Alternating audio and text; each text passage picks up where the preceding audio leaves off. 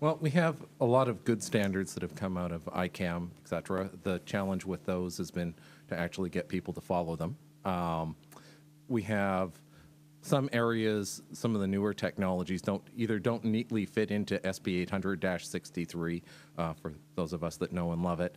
Um, the but it's it's really tracking that change. What's becoming best practice in the industry isn't necessarily what we're allowed to deliver. There's also some gaps, so we don't have. Um, I, was, I was talking to uh, last week. I was talking to one of the authors of SP 800-63, and we we don't. Pe- people tend to take that one document and apply it perhaps places that it ought not to be applied. Um, if you spread it too thinly, holes start appearing.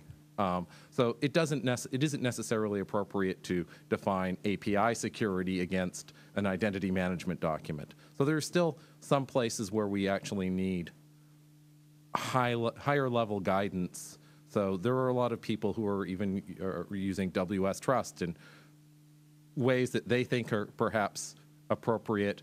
Other people with more experience, maybe not. So we don't.